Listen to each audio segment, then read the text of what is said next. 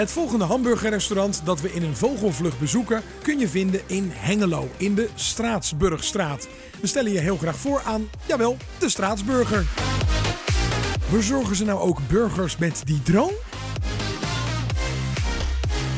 Hmm, eens kijken wat ik zal bestellen. Hmm, die zien er goed uit zeg. Het vlees dat ze voor deze burgers gebruiken halen ze van de boerderij in de buurt, waar ze Black Angus koeien houden.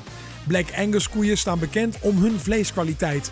Ze worden dagelijks professioneel verzorgd en gemasseerd.